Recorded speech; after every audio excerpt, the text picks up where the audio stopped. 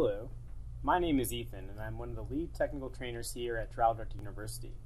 Today, I'll show you how to properly import a digital video transcript into your transcript manager. Importing digital video transcripts into the transcript manager allows the user to then create deposition clips, search, printouts, issue codes, create exhibits, and many other things. First, you want to make sure you are in the transcript manager, which is the third component of Trial Director.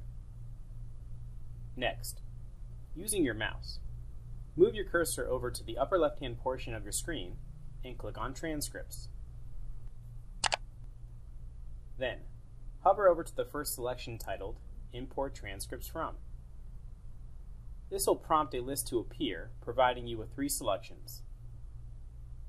The one we will select today is Synchronized Transcripts. A prompt will appear on that screen. On that prompt, go ahead and select Next. Then, click on Browse, and browse to the desired digital video transcript located in its properly stored location. Go ahead and select Next, and then Import. Then, browse to the location of the video deposition and select OK.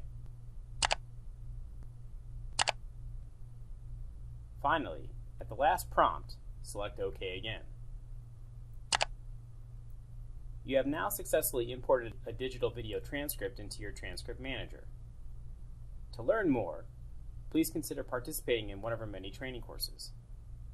You may contact us at 1 800 828 8292 or simply email training at trialdirectoruniversity.com.